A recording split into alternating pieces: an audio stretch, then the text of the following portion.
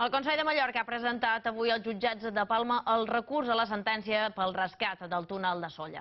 El passat mes d'abril, en primera instància, un tribunal donà la raó a l'empresa Globalvia, concessionària de la infraestructura, i anul·lar el rescat del túnel executat el desembre de 2017 dictava que la concessionària recuperés l'explotació o rebés 31 milions d'euros d'indemnització i afirmava que no s'havia justificat l'interès públic. El Consell manté que el rescat sí que es va fer per interès públic.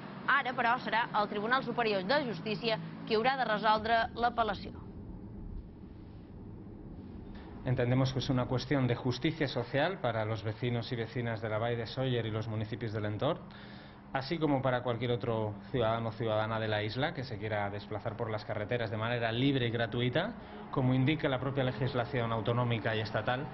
Y ya dijimos en aquel momento que seguiríamos luchando allí donde hiciera falta y hasta las últimas consecuencias.